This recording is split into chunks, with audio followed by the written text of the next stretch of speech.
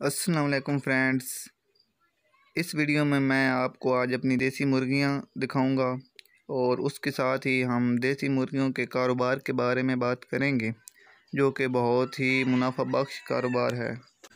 इसी वीडियो में मैं आपके साथ अपने एक साल का एक्सपीरियंस शेयर करूँगा कि मैंने किस तरह एक साल में कितनी मुर्गियाँ पाली और इस साल मैं कितनी मुर्गियों का कारोबार कर रहा हूँ। तो वीडियो शुरू करने से पहले अगर आप मेरे चैनल पर नए हैं तो मेरा चैनल सब्सक्राइब कर लें और वीडियो को लाइक और शेयर करना बिल्कुल ना भूलें। फ्रेंड्स, पिछले साल मेरे पास बीस मुर्गियाँ और पच्चीस और पाँच मुर्गे थे। तो टोटल मिलाकर पच्चीस थे।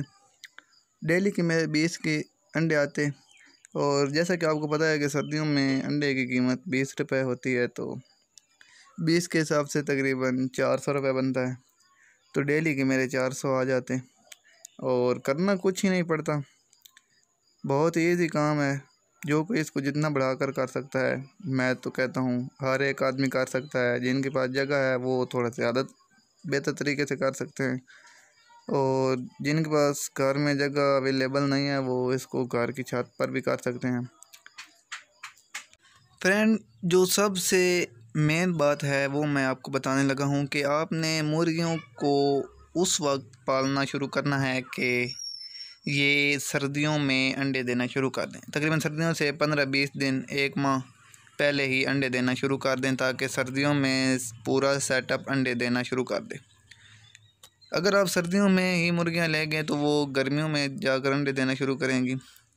मैंने मुर्गियाँ नहीं ली, मैंने चिक्स पाले हैं।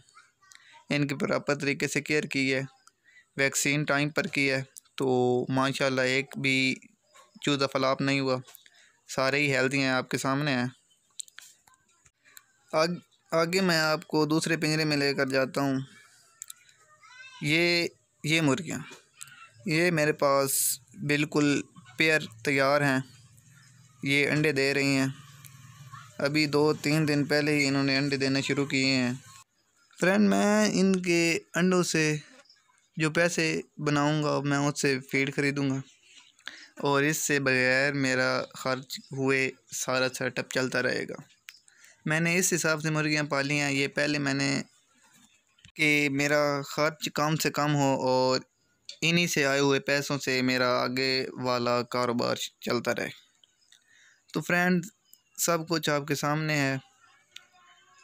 जो मैंने इससे सीखा, जो कुछ कमाया मैंने आपके साथ शेयर कर दिया। तो माशाल्लाह इस साल मेरे पास 109 मुर्गी है। तो डेली के तकरीबन 109 ना तो सौ अंडे तो डेली के आ ही जाएँगे। तो पिछले साल की नस्बत, इस साल मेरे पास तीन गुना ज़्यादा मुर्गियाँ हैं। तो आप खुद सोच लें कि पिछले साल मैंने इनसे प्रॉफिट कमाया है तो ही इस साल इसको बढ़ाया है। अगर पिछले साल मैं से बस गुजारा ही चलता तो मैं इस साल बिल्कुल ना बढ़ाता। मुझे, मैंने ये काम करके देखा है, मुझे पता है कि इससे मुनाफा हुआ है तो ही बढ़ाया है ना। तो फ्रेंड, मैं आपको मशवरा दूँगा कि अगर आप फ्री हैं तो ये काम लाजमी करें। और उसके अलावा अगर आप कोई जॉब करते हैं तो ये काम आप पार्ट टाइम में भी कर सकते हैं। इससे ये कोई टाइम लेवा काम नहीं है। बस आपको थोड़ा सेटअप बनाना होगा इसका। और बाकी अपने जहन की बात होती है। जो मेरे नॉलेज में आया, मैंने आपसे शेयर कर दिया। ताकि आप भाइयों का भी फ़ायदा हो जाए। तो अगर वीडियो पसंद आई है तो लाइक और शेयर ज़रूर करें। ताकि ये उन लोगों तक भी पहुँचे जिन्हें इनकी ज़रूरत है। तो और चैनल को सब्सक्राइब कर लें। और ताकि मेरी नेक्स्ट वीडियो का नोटिफिकेशन आप तक पहुँच जाए। अल्लाह हाफिज़।